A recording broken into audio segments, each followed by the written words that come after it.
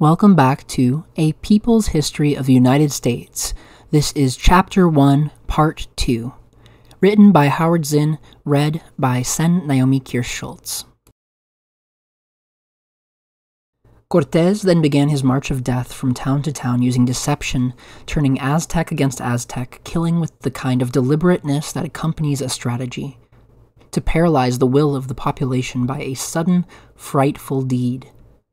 And so, in Cholula, he invited the headmen of the Cholula nation to the square, and when they came, with thousands of unarmed retainers, Cortes's small army of Spaniards posted around the square with cannon, armed with crossbows, mounted on horses, massacred them down to the last man.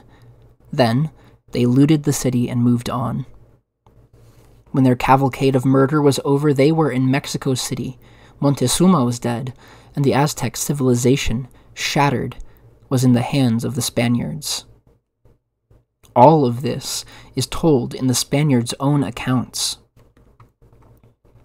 In Peru, that other Spanish conquistador, Pizarro, used the same tactics and for the same reasons. The frenzy in the early capitalist states of Europe for gold, for slaves, for products of the soil, to pay the bondholders and stockholders of the expeditions, to finance the monarchical bureaucracies rising in Western Europe, to spur the growth of the new money economy rising out of feudalism to participate in what Karl Marx would later call, quote, the primitive accumulation of capital. Unquote.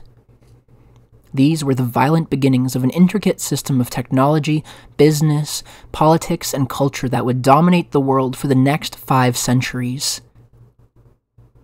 In the North American English colonies, the pattern was set early as Columbus had set it in the islands of the Bahamas. In 1585, before there was any permanent English settlement in Virginia, Richard Grenville landed there with seven ships, the Indians he met were hospitable, but when one of them stole a small silver cup, Grenville sacked and burned the whole Indian village. Jamestown itself was set up inside the territory of an Indian confederacy led by the chief, Powhatan. Powhatan watched the English settle on his people's land but did not attack, maintaining a posture of coolness when the English were going through their, quote, starving time, unquote, in the winter of 1610, some of them ran off to join the Indians where they would at least be fed. When the summer came, the governor of the colony sent a messenger to ask Powhatan to return the runaways, whereupon Powhatan, according to the English account, replied with, quote, no other than proud and disdainful answers, unquote. Some soldiers were therefore sent out, quote, to take revenge, unquote. They fell upon an Indian settlement, killed 15 or 16 Indians, burned the houses, cut down the corn growing around the village, took the queen of the tribe and her children into boats, then ended up throwing the children overboard, quote, and shooting out their brains in the water, unquote. The queen was later taken off and stabbed to death. Twelve years later, the Indians, alarmed as the English settlements kept growing in numbers, apparently decided to try to wipe them out for good. They went on a rampage and massacred 347 men, women, and children. And from then on, it was total war. Not able to enslave the Indians and not able to live with them, the English decided to exterminate them.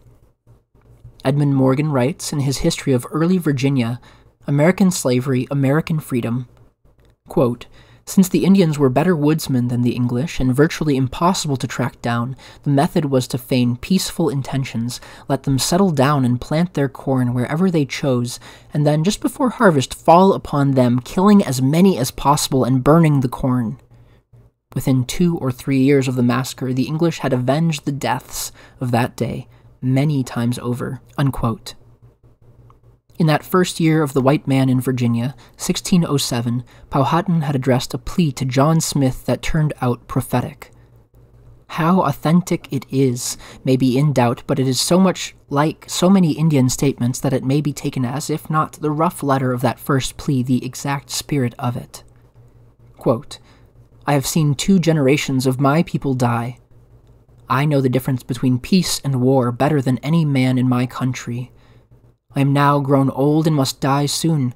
My authority must descend to my brothers, Opitchapan, Opechan Kano, and Catataugh, then to my two sisters, and then to my two daughters. I wish them to know as much as I do, and that your love to them may be like mine to you. Why will you take by force what you may have quietly by love? Why will you destroy us who supply you with food? What can you get by war? We can hide our provisions and run into the woods, then you will starve for wronging your friends. Why are you jealous of us? We are unarmed and willing to give you what you ask if you come in a friendly manner and not so simple as not to know that it is much better to eat good meat, sleep comfortably, live quietly with my wives and children, laugh and be merry with the English, and trade for their copper and hatchets than to run away from them and to lie cold in the woods, feed on acorns, roots, and such trash, and be so hunted that I can neither eat nor sleep. In these wars, my men must sit up watching, and if a twig break, they all cry out, quote, Here comes Captain Smith, unquote. So, I must end my miserable life. Take away your guns and swords, the cause of all our jealousy, or you may all die in the same manner. Unquote. When the pilgrims came to New England, they too were coming not to vacant land, but to territory inhabited by tribes of Indians. The governor of the Massachusetts Bay Colony, John Winthrop, created the excuse to take Indian land by declaring the area legally a, quote, vacuum, unquote.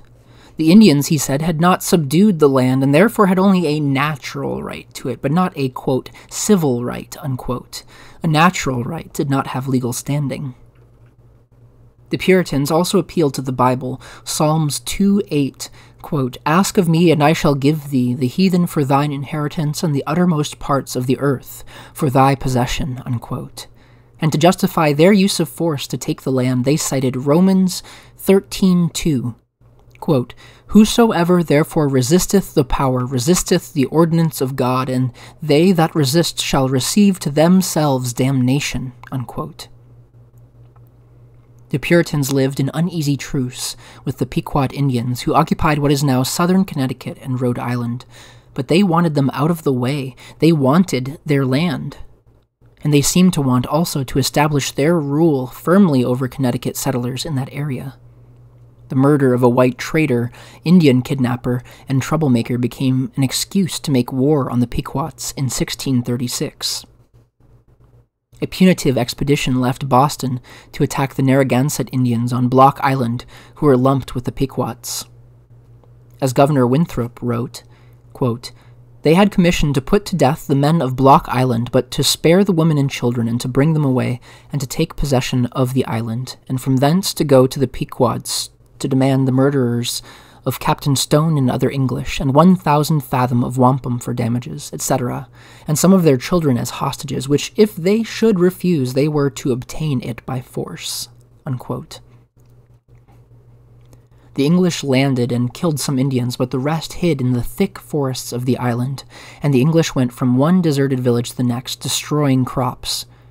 Then they sailed back to the mainland and raided Pequot villages along the coast, destroying crops again.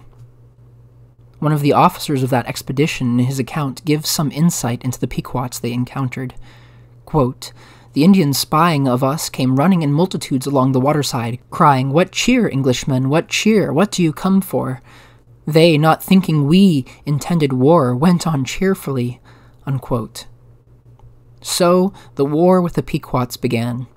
Massacres took place on both sides. The English developed a tactic of warfare used earlier by Cortes and later in the 20th century even more systematically deliberate attacks on non combatants for the purpose of terrorizing the enemy. This is ethnohistorian Francis Jennings' interpretation of Captain John Mason's attack on a Pequot village on the Mystic River near Long Island Sound. Quote, Mason proposed to avoid attacking Pequot warriors, which would have overtaxed his unseasoned, unreliable troops. Battle, as such, was not his purpose. Battle is only one of the ways to destroy an enemy's will to fight. Massacre can accomplish the same end with less risk, and Mason had determined that massacre would be his objective. Unquote. So the English set fire to the wigwams of the village. By their own account, quote, the captain also said, We must burn them, and immediately stepping into the wigwam, brought out a firebrand and putting it into the mats with which they were covered, set the wigwams on fire. Unquote. William Bradford, in his History of the Plymouth Plantation, written at the time, describes John Mason's raid on the Pequot village. Quote, those that scaped the fire were slain with the sword, some hewed to pieces, others run through with their rapiers, so as they were quickly dispatched, and very few escaped. It was conceived they thus destroyed about four hundred at this time. It was a fearful sight to see them thus frying in the fire, and the streams of blood quenching the same, and horrible was the stink and scent thereof, but the victory seemed a sweet sacrifice, and they gave the prayers thereof to God, who had wrought so wonderfully for them, thus to enclose their enemies in their hands, and give them so speedy a victory over so proud and insulting an enemy. As Dr. Cotton Mather, Puritan theologian, put it, it was supposed that no less than 600 Pequot souls were brought down to hell that day. The war continued. Indian tribes were used against one another and never seemed able to join together in fighting the English. Jennings sums up quote, The terror was very real among the Indians, but in time they came to meditate upon its foundations. They drew three lessons from the Pequot War. First, that the Englishman's most solemn pledge would be broken whenever obligation conflicted with advantage. Second, that the English way of war had no limit of scruple or mercy. And third, that weapons of Indian making were almost useless against weapons of European manufacture. These lessons the Indians took to heart. Unquote. A footnote in Virgil Vogel's book, This Land Was Ours, 1972, says the official figure on the numbers of Pequots now in Connecticut is 21 persons. Forty years after the Pequot War, Puritans and Indians fought again. This time it was the Wampanoags, occupying the south shore of Massachusetts Bay, who were in the way and also beginning to trade some of their land to people outside the Massachusetts Bay colony. Their chief, Massasoit, was dead. His son, Wamsutta, had been killed by Englishmen, and Wamsutta's brother, Metacom, later to be called King Philip by the English, became chief. The English found their excuse, a murder which they attributed to Metacom, and they began a war of conquest against the Wampanoags, a war to take their land. They were clearly the aggressors, but claimed they attacked for preventative purposes. As Roger Williams, more friendly to the Indians than most, put it, Quote, All men of conscience or prudence ply to windward to maintain their wars to be defensive. Unquote. Jennings says the elite of the Puritans wanted the war. The ordinary white Englishman did not want it and often refused to fight. The Indians certainly did not want war, but they matched atrocity with atrocity. When it was over in 1676, the English had won, but their resources were drained. They had lost 600 men. 3,000 Indians were dead, including Metacom himself. Yet the Indian raids did not stop. For a while, the English tried softer tactics, but ultimately it was back to annihilation. The Indian population of 10 million that lived north of Mexico when Columbus came would ultimately be reduced to less than a million. Huge numbers of Indians would die from diseases introduced by the whites, a Dutch traveler in New Netherland wrote in 1656 that, quote, the Indians affirm that before the arrival of the Christians and before the smallpox broke out amongst them, they were ten times as numerous as they now are, and that their population had been melted down by this disease, whereof nine tenths of them had died. Unquote. When the English first settled Martha's Vineyard in 1642, the Wampanoags there numbered perhaps 3,000. There were no wars on that island, but by 1764 only 313 Indians were left there. Similarly, Block Island Indians numbered perhaps 1,200 to 1,500 in 1662, and by 1774 were reduced to 51. Behind the English invasion of North America, behind their massacre of Indians, their deception, their brutality, was that special powerful drive born in civilizations based on private property. It was a morally ambiguous drive. The need for space, for land, was a real human need. But, in conditions of scarcity, in a barbarous epoch of history ruled by competition, this human need was transformed into the murder of whole peoples. Roger Williams said it was, quote, a depraved appetite after the great vanities, dreams and shadows of this vanishing life, great portions of land, land in this wilderness, as if men were in as great necessity and danger for want of great portions of land as poor, hungry, thirsty seamen have after a sick and stormy, a long and starving passage. This is one of the gods of New England which the living and most high eternal will destroy and famish. Unquote. Was all this bloodshed and deceit, from Columbus to Cortes, Pizarro, the Puritans, a necessity for the human race to progress from savagery to civilization? Was Morison right in burying the story of genocide inside a more important story of human progress? Perhaps a persuasive argument can be made, as it was made by Stalin when he killed peasants for industrial progress in the Soviet Union, as it was made by Churchill explaining the bombings of Dresden and Hamburg, and Truman explaining Hiroshima. But how can the judgment be made if the benefits and losses cannot be balanced because the losses are either unmentioned or mentioned quickly? That quick disposal might be acceptable, Unfortunate, yes, but it had to be done to the middle and upper classes of the conquering and quote unquote advanced countries. But is it acceptable to the poor of Asia, Africa, Latin America, or to the prisoners in Soviet labor camps, or the blacks in urban ghettos, or the Indians on reservations, to the victims of that progress which benefits a privileged minority in the world? Was it acceptable, or just inescapable? To the miners and railroaders of America, the factory hands, the men and women who died by the hundreds of thousands from accidents or sickness, where they worked or where they lived, casualties of progress.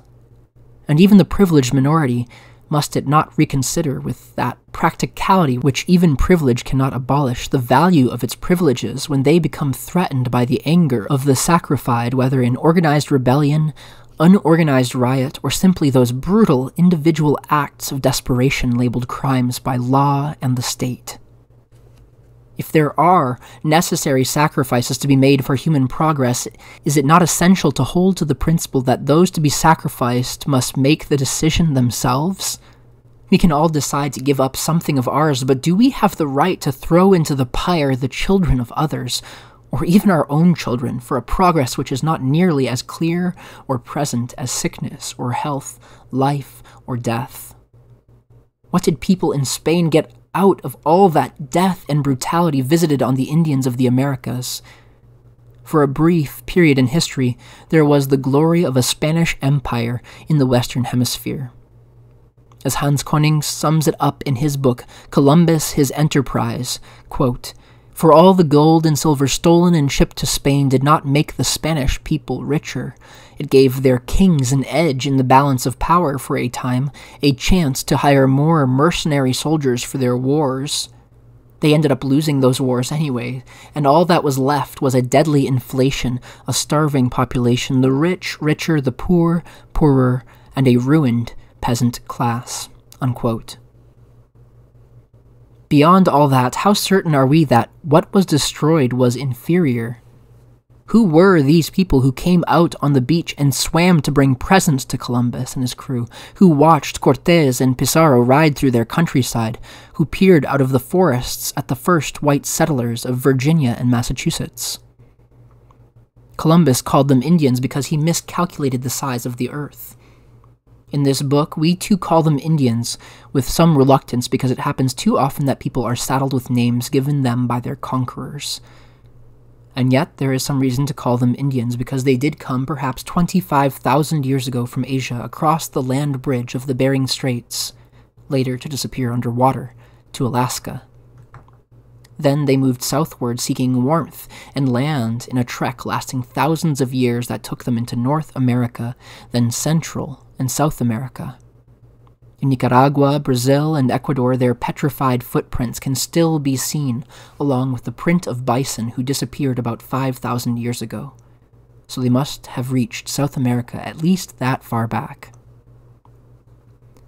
Widely dispersed over the great landmass of the Americas, they numbered approximately 75 million people by the time Columbus came, perhaps 25 million in North America.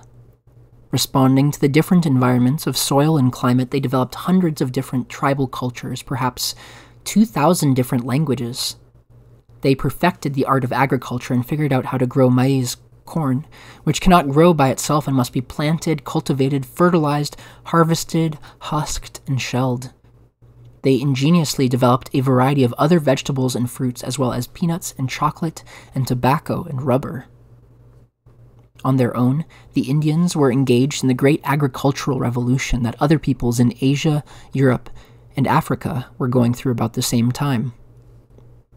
While many of the tribes remained nomadic hunters and food gatherers in wandering egalitarian communes, others began to live in more settled communities where there was more food, larger populations, more divisions of labor among men and women, more surplus to feed chiefs and priests, more leisure time for artistic and social work, for building houses. About a thousand years before Christ, while comparable constructions were going on in Egypt and Mesopotamia, the Zuni and Hopi Indians of what is now New Mexico had begun to build villages consisting of large, terraced buildings nestled in among cliffs and mountains for protection from enemies with hundreds of rooms in each village. Before the arrival of the European explorers, they were using irrigation canals, dams, were doing ceramics, weaving baskets, making cloth out of cotton. By the time of Christ and Julius Caesar, there had developed in the Ohio River Valley a culture of so called mound builders, Indians who constructed thousands of enormous sculptures out of earth, sometimes in the shapes of huge humans, birds, or serpents, sometimes as burial sites, sometimes as fortifications. One of them was three and a half miles long, enclosing a hundred acres. These mound builders seem to have been part of a complex trading system of ornaments and weapons from as far off as the Great Lakes, the far west, and the Gulf of Mexico. About AD 500, as this mound builder culture of the Ohio Valley was beginning to decline, another culture was developing westward, in the valley of the Mississippi, centered on what is now St. Louis. It had an advanced agriculture, included thousands of villages, and also built huge earthen mounds as burial and ceremonial places near a vast Indian metropolis that may have had 30,000 people. The largest mound was a hundred feet high, with a rectangular base larger than that of the Great Pyramid of Egypt. In the city, known as Cahokia, were toolmakers, hide dressers, potters, jewelry makers, weavers, salt makers, copper engravers, and magnificent one funeral blanket was made of 12,000 shell beads. From the Adirondacks to the Great Lakes and what is now Pennsylvania and Upper New York lived the most powerful of the northeastern tribes, the League of the Iroquois, which included the Mohawks, people of the Flint, Oneidas, people of the Stone, Onondagas, people of the mountain, Cayugas, people at the landing, and Senecas, great hill people, thousands of people bound together by a common Iroquois language. In the vision of the Mohawk chief Hiawatha, the legendary Dekaniwidah spoke to the Iroquois. Quote, we bind ourselves together by taking hold of each other's hands so firmly and forming a circle so strong that if a tree should fall upon it, it could not shake nor break it so that our people and grandchildren shall remain in the circle in security, peace, and happiness. Unquote. In the villages of the Iroquois, land was owned in common, worked in common. Hunting was done together, and the catch was divided among the members of the village. Houses were considered common property and were shared by several families. The concept of private ownership of land and homes was foreign to the Iroquois. A French Jesuit priest who encountered them in the 1650s wrote, quote, No poor houses are needed among them because they are neither mendicants nor paupers. Their kindness, humanity, and courtesy not only makes them liberal with what they have, but causes them to possess hardly anything except in common. Unquote. Women were important and respected in Iroquois society. Families were matrilineal, that is, the family line went down through the female members whose husbands joined the family, while sons who married then joined their wives' families. Each extended family lived in a longhouse. When a woman wanted a divorce, she set her husband's things outside the door. Families were grouped in clans, and a dozen or more clans might make up a village. The senior woman in the village named the men who represented the clans at village and tribal councils. They also named the 49 chiefs who were the ruling council for the Five Nation Confederacy of the Iroquois. The women attended clan meetings, stood behind the circle of men who spoke and voted, and removed the men from office if they strayed too far from the wishes of the women. The women tended the crops and took general charge of village affairs, while the men were always hunting or fishing. And since they supplied the moccasins and food for warring expeditions, they had some control over military matters. As Gary B. Nash notes in his fascinating study of early America, Red, White, and Black, Quote, Thus, power was shared between the sexes, and the European idea of male dominancy and female subordination in all things was conspicuously absent in Iroquois society. Unquote. Children in Iroquois society, while taught the cultural heritage of their people and solidarity with the tribe, were also taught to be independent, not to submit to overbearing authority. They were taught equality in status and the sharing of possessions. The Iroquois did not use harsh punishment on children. They did not insist on early weaning or early toilet training, but gradually allowed the child to learn self care. All of this was in sharp contrast to European values as brought over by the first colonists, a society of rich and poor controlled by priests, by governors, by male heads of families. For example, the pastor of the Pilgrim colony, John Robinson, thus advised his parishioners how to deal with their children. Quote, and surely there is in all children a stubbornness and stoutness of mind arising from natural pride, which must, in the first place, be broken and beaten down, that so the foundation of their education being laid in humility and tractableness, other virtues may, in their time, be built thereon. Unquote. Gary Nash describes Iroquois culture. Quote, no laws and ordinances, sheriffs and constables, judges and juries, or courts or jails. The apparatus of authority in European societies were to be found in the northeast woodlands prior to European arrival. Yet boundaries of acceptable behavior were firmly set. Though priding themselves on the autonomous individual, the Iroquois maintained a strict sense of right and wrong. He who stole another's food or acted invalorously in war was shamed by his people and ostracized from their company until he had atoned for his actions and demonstrated to their satisfaction that he had morally purified himself. Unquote.